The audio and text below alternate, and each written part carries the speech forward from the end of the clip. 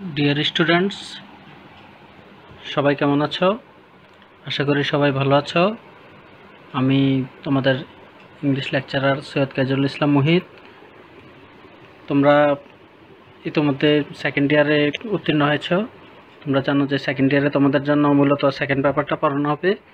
আর এমনিতে আমরা চেষ্টা করব ফার্স্ট পেপার সেকেন্ড পেপার দুইটা মিলিয়ে পড়ানোর জন্য। কারণ তোমাদের যেহেতু বর্তমানে আমাদের যেই রিভাইসড সিলেবাসটা, যে পুনর্বিন্যাসকৃত সিলেবাসটা, সেখানে তোমাদের অনেকটা পরিবর্তন আসছে। অনেক কিছু বাদ দেওয়া হয়েছে। আবার মার্ক ডিস্ট্রিবিউশনেও ভিন্নতা আছে। এজন্য আমরা চেষ্টা করব যে তোমাদের জন্য দুইটা ব্যাপারেই আলোচনা করতে। আজকে আমি তোমাদের জন্য যে জিনিসটা আলোচনা করব, সেটা হলো ইংলিশ সেকেন্ড পেপারের যে আমাদের একটা টপিকস আছে, সেটা হলো রাইট ফর্ম অফ বার্বস আর রাইট ফর্ম অফ বার্বসে সবচেয়ে বেশি যে জিনিসটা কাজে লাগে, সেটা হলো টেন্স টেন্সের ব্যাপারটা সবচেয়ে বেশি ক্লিয়ার থাকতে হয়। এই জন্য আজকে আমি তোমাদেরকে টেন্সের ব্যাপারে আলোচনা করব, পাশাপাশি ভয়েসের ব্যাপারেও একটু আলোচনা করব। সো আজকে ফার্স্টে আমরা, তোমরা অবশ্য এর আগে পরে আসছো যে টেন্স সম্পর্কে, কিন্তু তারপরেও আমি তোমাদেরকে টেন্সটা আসলে আজকে তোমাদের ক্লাসে পড়ানোর মূল কারণ হয়েছে যে তোমরা টেন্স ভয়েসের মধ্যে একটা মানে পার্থক্য সৃষ্টি করো যে টেন্স ইংলিশের একটা টপিকস ভয়েস আলাদা টপিকস আসলে কিন্তু ব্যাপারটা তা না। যেটা টেন্স টেন্সেরই প্রত্যেকটা টেন্সেরই আবার মানে দুইটা রূপ থাকে, একটা হলো অ্যাক্টিভ রূপ আর একটা হলো পেসিভ রূপ এখন যে সাধারণ, আমি আগে জাস্ট টেন্সটা নিয়ে আলোচনা করি, তারপর আমি পেসিভটা নিয়ে তোমাদেরকে বলতেছি।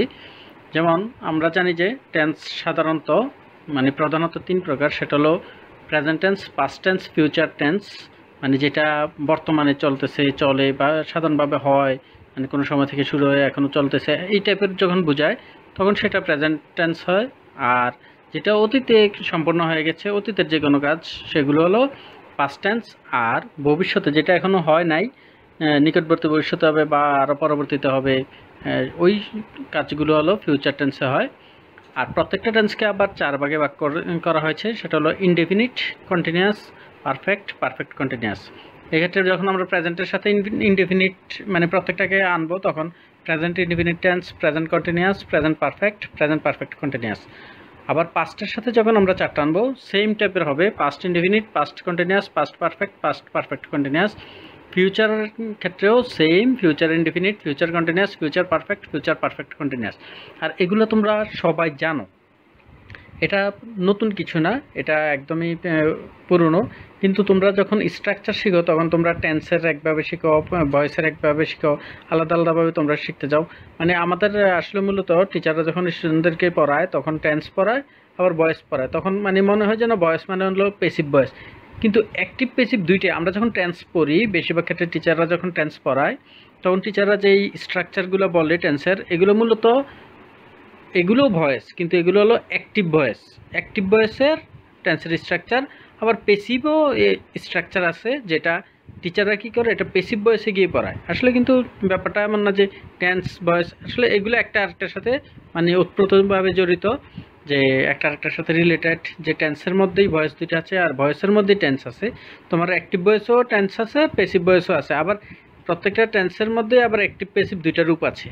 সো আমরা যখন করব তখন আমরা এগুলা খেয়াল করব। এখন আমরা যখন ইয়ে করব, তো কীভাবে আমরা অ্যাক্টিভ বা পেসিভ বসবো, সেই ক্ষেত্রে আমাদের দেখতে হবে যে সাবজেক্ট কাজ করে কিনা।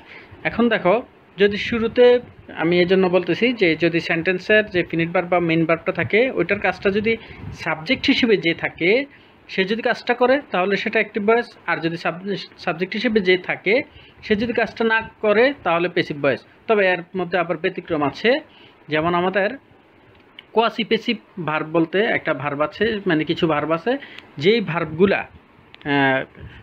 এমনিতে অর্থ যখন হয়, তখন এগুলা পেসিভের অর্থ প্রকাশ করে মানে সাবজেক্টে মূলত কাজটা করে না, কিন্তু এটাকে অ্যাক্টিভও করা যায়, আবার পেসিভও করা যায়। আমরা চাইলে অ্যাক্টিভও করতে পারি পেসিভও করতে পারি। আর ওই ভার্বগুলোকে বলা হয় কোয়াসি পেসিভ ভার্ব যেমন আমরা জানি যে চাল সস্তা দরে বিক্রি হয় যদি বলে, তখন আমরা বলতে পারি যে রাইস সেলস চিপ মানে হলো চাল সস্তা দরে বিক্রি অর্থটা যখন আমরা চিন্তা করি, তখন বিক্রির কাজটা কিন্তু চালে করে না। তারপরে দেখা গেছে, আমরা বলি কি, যে এটা হলো অ্যাক্টিভ বয়সে মানে কি সাবজেক্ট কাজ না করার পরও এটা অ্যাক্টিভ বয়সে আর এই জন্য এটার অর্থটা যেহেতু পেসিভ বয়সের মতো, এই জন্য এটাকে বলা হয় কোয়াসি পেসিভ ভার্ব যে যে ভার্বগুলা আমরা ইচ্ছে করলে কেউ যদি চিন্তা করে যে, এটা তো চাল তো নিজেকে নিজে বিক্রি করে না সো আমরা এটা পেসিভে করব হ্যাঁ করতে পারো। এটা তখন লিখে দিবা রাইস ইজ সোল্ড চিপ চাল সস্তা ধরে বিক্রি হয়। সেমভাবেই আছে যে হানি টেস্ট সুইট মানে মধু স্বাদে মিষ্টি। তো আমরা এটাকে করতে পারি যে হানি ইজ টেস্টেড সুইট ঠিক আছে? তো এই ক্ষেত্রে এটা হলো কোয়াসিপেসিভ বাট এটা হলো একটু ব্যতিক্রম। আর বাকি সবগুলা মানে বেশি মানে বলতে গেলে প্রায় সবগুলাই যে যদি সাবজেক্টে কাজ করে সেটা হলো অ্যাক্টিভ হয়, আর যদি সাবজেক্ট কাজ না করে সেটা হলো পেসিভ হয়। এখন আমরা আজকে বারোটা টেন্সের অ্যাক্টিভ পেসিভ একসাথে বুঝে ফেলব। যেমন আমরা চাইলে কিন্তু যে শর্টকাটে সে করতে পারি, যেটা হলো আমাদের সবসময় মনে রাখতে হবে পেসিভ বয়সে মেন ভার্বের পাশ পার্টিসিপাল ফর্ম হয়, আর অ্যাক্টিভ বয়সে মেন ভার্বের ভিন্ন ভিন্ন ফর্ম হতে পারে, যেমন ইন্ডিপেন্ডেন্ট টেন্স যখন বলা হয়, তখন দেখা গেছে যে ওই যেই টেন্স আমাদের আছে প্রেজেন্ট বললে প্রেজেন্ট ফর্মই থাকে সাধারণত ইন্ডিপেন্ডেন্টগুলোতে কন্টিনিউয়াস থাকে কন্টিনিউয়াস যেখানে থাকে সেখানে বার্বের সাথে আইএনজি থাকে মেন বার্বের সাথে, আগে একটা টু বি ভার্ব থাকে। আর পারফেক্ট বললে টু হ্যাভ বার্ব থাকে, তারপরে বারবার পাস পার্টিসিপল থাকে। আর পারফেক্ট কন্টিনিউয়াস বললে টু হ্যাভ বার্বের পরে, তারপরে পাস পার্টিসিপল হয় টু বি বার্বের যেহেতু আমাদের কন্টিনিউয়াসে টু বি বার্ব আছে, তো টু বি বার্বের পাস পার্টিসিপল ফর্ম মানে বিন তাহলে এই জন্য আমরা টু হ্যাভ বার্ব বসাই, তারপরে বিন বসাই, তারপরে বারবার পাস পার্টিসিপল ফর্ম সো আমরা যখন ইয়ে করব অবশ্যই অবশ্যই আমরা এই জিনিসটা খেয়াল রাখব যে আমাদের বার্বগুলো যাতে এমনভাবে ব্যবহার করা হয় যাতে এটা আমাদের কোনো সমস্যা না হয়, যে আমরা যখন ইউজ করব তখন এটা অবশ্যই অবশ্যই ভার্বগুলোকে আমরা সঠিক ফর্মে ব্যবহার করব। এখন যেমন আমাদের প্রেজেন্ট ইন্ডিপেন্ডেন্ট টেন্সে আমরা যখন অ্যাক্টিভ ভার্ব ইউজ করব, যখন আমরা দেখব যে সাবজেক্ট কাজ করে, সেক্ষেত্রে আমরা ভার্বটা মানে মেইন ফর্ম লিখব, অথবা যদি আমাদের যদি থার্ড পার্সন সিঙ্গুলার নাম্বার হয়, তখন অ্যাজ বাই এর যুক্ত করব। আর যদি এটা পেসিভে দেখি যে অ্যাক্টিভে না পেসিভে আছে, তখন আমরা এটার সাথে অ্যামিজার লিখে তারপরে বারবার পাস্ট পার্টিসিপাল ফর্মটা লিখে দিব। আবারও বলি যে পেসিভ বয়সে মেইন বারবার পাস্ট পার্টিসিপাল ফর্ম বসে আর তার আগে একটা টু বিভার বসে। যেমন আমাদের প্রেজেন্ট ইন্ডিপেন্ডেন্ট টেন্সে অ্যাক্টিভে পেসি টু বিভার ছিল না এই জন্য আমরা টু বিভার্বের প্রেজেন্ট ফর্মটা দিয়ে দিব আর তারপর বারবার পাস্ট পার্টিসিপাল ফর্ম লিখে দিব। প্রেজেন্ট কন্টিনিউয়াস টেন্সে টু বিভার লিখতে হয় am is are present form তারপর বারবার সাথে আইএনজি আর পেসিভে গিয়ে যেটা হয় সেটা হলো এম ইজ আর এর সাথে বিং এখন আমি বলি বিংটা কীভাবে আসলো? সেটা হলো আমাদের অ্যাক্টিভ স্ট্রাকচারে ছিল ভার্বের সাথে আইএনজি তো এখানে আমরা, আমি বলছিলাম যে পেসিভ বয়সে সাধারণত টু বি বিভার তারপর বারবার পাস পার্টিসিপাল বসে। তো টু বি বিভার এখানে যেহেতু এর আগেরটাতে মেইন বারবার পাস আইএনজি ছিল এই জন্য এখানে টু বিভার্বের আইএনজি বসাই দেবো। তো টু বিভার্বের আইএনজি হলো বিং তারপরে বারবার পাস পার্টিসিপাল সেম জিনিসটা আমরা সবগুলোতে খেয়াল করতে পারব। যেমন আমাদের প্রেজেন্ট পারফেক্ট টেন্সে ছিল টু হ্যাভ বারবার পরে বারবার পাস্ট পার্টিসিপল তো পেসিভ বয় যখন করেছি, তখন আমাদের যে কাজটা করতেছে সেটা হলো টু হ্যাভ বারবার আছে। তারপরে আমাদের যেহেতু আমরা জানি যে টু বি ভার প্লাস বারবার পাস পার্টিসিপল পেসিভ স্ট্রাকচারে থাকে, তো আমাদের অ্যাক্টিভ বয়সে ছিল বারবার পাস পার্টিসিপল তাহলে টু বি বারবার পাস পার্টিসিপল ফর্ম আমরা লিখে তারপর বারবার পাস পার্টিসিপল লিখব। টু বি বারবার পাস পার্টিসিপল ফর্ম হলো বিন সো যখন আমরা প্রেজেন্ট পারফেক্ট কন্টিনিউয়াস টেন্সে যাব, তখন আমাদের অ্যাক্টিভ স্ট্রাকচারে আছে হ্যাভ হ্যাজ তারপরে বিন লিখে বারবারের সাথে এনজি এখন যদি এটা পেসিভ হয়, দেখা গেছে সাবজেক্টটা সাধারণত এমন হয় না। মনে রাখতে হবে আমাদের যে তিনটা যে পারফেক্ট কন্টিনিউয়াস টেন্স আছে, এই তিনটা পারফেক্ট কন্টিনিউয়াস টেন্সের পেসিভ স্ট্রাকচার হয় না। সো আমাদের এই হলো আমাদের প্রেজেন্টের যে চারটা প্রেজেন্ট টেন্স আছে, এগুলোর অ্যাক্টিভ এবং পেসিভ স্ট্রাকচার নেক্সটে আসো আমাদের পাস্ট ইন্ডিফিনিট আমরা যদি প্রেজেন্টের পাস্টেরগুলো খেয়াল করি তাহলে আমা- আমরা প্রেজেন্টের সাথে একটা মিল পাই। যেমন ইন্ডিফিনিট টেন্সে সেখানে প্রেজেন্ট ফর্ম ছিল, এখানে পাস্ট ফর্ম ওই জায়গায় অ্যামিজার ছিল, এখানে ওয়াজার বাকিগুলো মিলবে সবগুলা। কন্টিনিউয়াসে আইএনজি থাকবে পারফেক্টে পাস পার্টিসিপাল থাকবে। তাহলে আমরা পাস্ট ইন্ডিফিনিট টেন্সে অ্যাক্টিভে বারবার পাস্ট ফর্ম থাকবে, আর পেসিভে ওয়াজার লিখে তারপরে বারবার পাস পার্টিসিপাল ফর্ম এগুলো আমরা সবসময় যখন এই যে আমি তোমাদের জন্য এখানে একসাথে করে দিছি, তোমরা ঠিক এইভাবে যদি তোমরা খাতায় নোট করে, তারপরে শিখো তোমাদের টেন্সগুলা সহজেই তোমরা পারবে। তোমরা তোমাদের টেন্সগুলো তোমাদের যে অ্যাক্টিভ আলাদা শিখো পেসিভ আলাদা শিখো, এই জন্য তোমরা দেখা গেছে যে তোমাদের শিখতে সমস্যা হয়। এভাবে যখন লিখে ফেলবে, লিখে শিখবে, তখন আমার কাছে মনে হয় যে তোমাদের কাছে খুব সহজ হবে এবং তোমরা খুব সহজে এটা করতে পারবা। তো পাস্ট কন্টিনিউয়াস টেন্সে ওয়াজারের সাথে পরে বারবার সাথে আইনজি ছিল।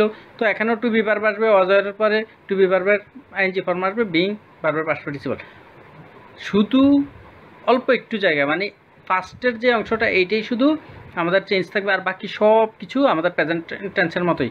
যেমন আমাদের পাস্ট ইন্ডিপেন্ডেন্ট টেন্সে পাস্ট ফর্ম প্রেজেন্টে ছিল প্রেজেন্ট ফর্ম আর পেসিভ ভয়েসে সেখানে ছিল আমি, যার এখানে ওয়াজার, বাকি বারবার পাস পার্টিসিপল এটা মিল আছে। তারপরে এখানে প্রেজেন্ট কন্টিনিউয়াস টেন্সে ছিল অ্যামিজারের পরে বারবার সাথে এনজি এখানে ওয়াজারের পরে বারবার সাথে এনজি তার মানে চেঞ্জ হয়েছে শুধু একটা অংশ টু বি বারবার অংশটা। সেমভাবে সবগুলোতে, যেমন পারফেক্ট টেন্সে সেখানে ছিল হ্যাভেস এখানে হলো হ্যাড বাকি কিন্তু বারবার পাস্ট পার্টিসিপল মিল আছে। তারপরে সেখানে ছিল হ্যাভেজ বিন বারবার পার্টিসিপল এখানে হয়েছে হ্যাড বিন পাস্ট পার্টিসিপল মানে হলো হ্যাভেজের পাস্ট ফর্ম বসে গেছে। ঠিক পাস্ট পারফেক্ট কন্টিনিউয়াস টেন্সে সেখানে ছিল হ্যাভ হ্যাজের পরে বিন বারবার সাথে এনজি এখানে হয়েছে হ্যাড প্লাস বিন বারবার সাথে এনজি আর আমি তো একটু আগেই বলেছি যে পারফেক্ট কন্টিনিউয়াস টেন্সের পেসিভ স্ট্রাকচার নেই। এখন ফিউচার টেন্স যেটা ফিউচার টেন্স মানে হলো আমাদেরকে যেটা করতে হবে শ্যাল উইল রাখতে হবে প্রথমে শ্যাল অথবা উইল এক্ষেত্রে আমি বলে দেই যে আমেরিকান ইংলিশে উইলের ব্যবহারটাই সবচেয়ে বেশি। শ্যালের ব্যবহারটা তেমন তারা করে না। তবে খুব বেশি গুরুত্ব দিতে কখনো কখনো তারা শ্যালটা ইউজ করে। আর ব্রিটিশ ইংলিশে যেটা করে, সেটা হলো আই এর সাথে শ্যাল বসে, আর বাকি সব ক্ষেত্রে উইল বসে।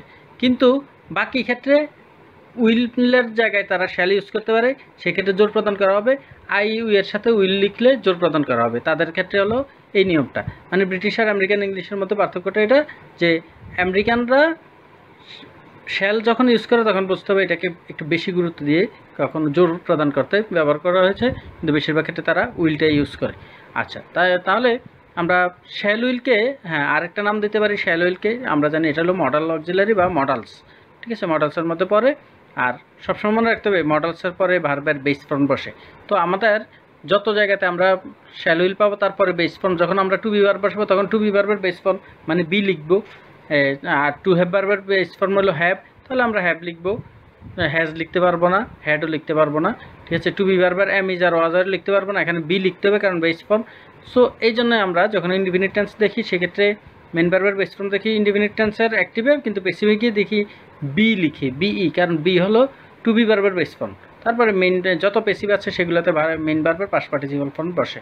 সো আমরা যদি ফিউচার কন্টিনিউয়াসে দেখি সেম অবস্থাটা দেখব যে বি এর পরে বারবার সাথে আইএনজি শ্যালোইলের পরে বি লিখে বারবার আইএনজি আর পেসিফি শ্যালোইলের পরে বি লিখে আবার বিং লিখতে হবে, তারপর বারবার পাস্ট পার্টিসিপাল তারপরে আমরা ফিউচার পারফেক্ট টেন্সে গেলে আমরা দেখব যে অ্যাক্টিভে শ্যালোইল তারপরে হ্যাভ তারপরে বারবার পাস্ট পার্টিসিপাল আর পেসিফি শ্যালোইল হ্যাভ বিন তারপরে বারবার পাস্ট পার্টিসিপাল আর ফিউচার পারফেক্ট কন্টিনিউয়াস টেন্সে শ্যাল উইল হ্যাভ বিন তারপর বারবার সাথে আইএনজি আর এখানে পেসিভ হবে না। মডেলসটা এক্ষেত্রে মডেলস আবার আমি দেওয়ার পিছনে মূল কারণ হচ্ছে শ্যাল উইলের যে নিয়মটা আমাদের শ্যাল উইলের মূলত যে প্রেজেন্ট ফিউচার ইনডিফিনিট টেন্সে যে মানে রুলটা, ওই রুলটাই মূলত মডেলসের রুল যে মডেলসের পরে বা অ্যাক্টিভে ভার্বের পরে বেস বেস ফর্মটা বসবে আর পেসিভে মডেলসের পরে বি লিখে বারবার পাস পার্টিসিপাল ফর্ম লিখতে হবে। এই হলো আমাদের মূলত যে টেন্সের স্ট্রাকচারগুলো তোমাদেরকে আজকে সহজ করে দিয়েছি। কারণ হচ্ছে এটার পর আমি তোমাদেরকে মূলত রাইট ফর্ম অফ বার্বসের নেক্সট ক্লাসে ইনশাল্লাহ তোমাদেরকে কতগুলো রুল বুঝিয়ে দিব। যে রুলগুলো তোমরা যদি একটু মনোযোগ দিয়ে দেখো, তাহলে আমার সম্ভবত আমি যতটুকু মানে আই হোপ তোমরা সবগুলা মানে শূন্যস্থান খুব ইজিলি তোমরা দিতে পারবে রাইট ফর্ম অফ ভার্বসের আর এটা গ্রামারের একটা most important part right form of verbs যদি তুমি না জানাও, তাহলে তোমার সঠিকভাবে নিজের কথাগুলো এক্সপ্রেস করতে পারবে না। আর কমিউনিকেটিভ ইংলিশ মানেই তো তোমাকে কমিউনিকেট করতে হবে মানুষের সাথে। তো কমিউনিকেট করতে হলে তোমাকে অবশ্যই বারবার রাইট ফর্মটা ইউজ করতে হবে। অন্যথায় তুমি সেখানে মানুষকে অ্যাপ্রোপ্রিয়েটলি নিজের যে ইয়েটা ইমোশনটা এক্সপ্রেস করতে পারবে না। সো অবশ্য অবশ্যই তোমাকে রাইট ফর্ম অফ ভার্বসটা অবশ্যই জানতে হবে। আর এর জন্য তোমাকে যখন তুমি রুল জানবা, শুধু বইয়ের মধ্যে আমরা দেখেছি যে প্রায় একশো দেড়শো রুল দেয়া থাকে বিভিন্ন বইয়ে। এত রুলের কোনো প্রয়োজন পড়ে না। জাস্ট কিছু রুল পড়লেই বুঝতে পারলে তখন দেখা গেছে যে ওই, এই জিনিসগুলোর ওপর ভিত্তি করে বেশিরভাগ রুলগুলো তৈরি করা হয়েছে। সো মানে শর্টকাটে কিছু রুলের মাধ্যমে আমি নেক্সট ক্লাসে তোমাদেরকে বুঝিয়ে দেবো। সো তোমাদের কাজ হবে এই টেন্সের এই অংশটা তোমরা সবাই ভালো করে শেষ করবে এবং আশা করি তোমরা এ থেকে উপকৃত হবে। সবাই নোট করে রাখবে এবং বারবার এগুলাতে খেয়াল রাখবে। তো, সবাই এগুলা দেখবে সবাই নিজেরা এখন যেহেতু প্যান্ডেমিক সিচুয়েশন তোমরা জানো যে সারা বিশ্বে মহামারী এখন বিশেষ করে আমাদের দেশেই একটু বেশি তীব্র আকার ধারণ করেছে, মৃত্যু হার অনেক বেড়েছে, আক্রান্তের হার বৃদ্ধি পেয়েছে, আর ভ্যাকসিন নেওয়া মানুষ শুরু করেছে। এখন তোমরা তোমাদের যারা সাধারণত কিছুদিন পর তো আঠারো বছরের পরে যারা আছে তারা ভ্যাকসিন নিতে পারবে। তোমরা তোমাদের ফ্যামিলিদেরকে ইন্সপায়ার করবে ভ্যাকসিন নেওয়ার জন্য, কারণ ভ্যাকসিন নিলে তবেই এটা থেকে কিছুটা পরিত্রাণ আশা করা যায় কমপক্ষে। যে মানুষ আক্রান্ত হলে সাধারণত যেই কষ্টগুলো পায় হসপিটালাইজড করতে হয়, বেশি একটা সমস্যা পড়তে হয়, এই সমস্যাগুলো আশা করি ভ্যাকসিন নিলে এই সমস্যাগুলোতে পড়তে হবে না। আর পাশাপাশি আমাদের স্বাস্থ্যবিধি অবশ্যই মেনে চলতে হবে, সবাই মাস্ক পরতে হবে বের হলে আর যতটুকু সম্ভব অপ্রয়োজনে যতদিন পর্যন্ত স্বাভাবিক অবস্থা না আসে, যে সরকার সবাইকে স্বাভাবিকভাবে চলার জন্য না বলে হ্যাঁ ততদিন পর্যন্ত সবাইকে একটু সতর্কতার সাথে চলতে হবে। সবাই বাসা থেকে কম বের হবে এবং সবাই স্বাস্থ্যবিধি মেনে বেশি বেশি হাত ধোবে মাস্ক পরবে এবং আশা করি সবাই নিজেদের পরিবার, পরিজনকে নিয়ে আত্মীয় স্বজনকে নিয়ে ভালো থাকবে, সুস্থ থাকবে। এই কামনা করছি। সবাই ভালো থেকো। আল্লাহ হাফেজ।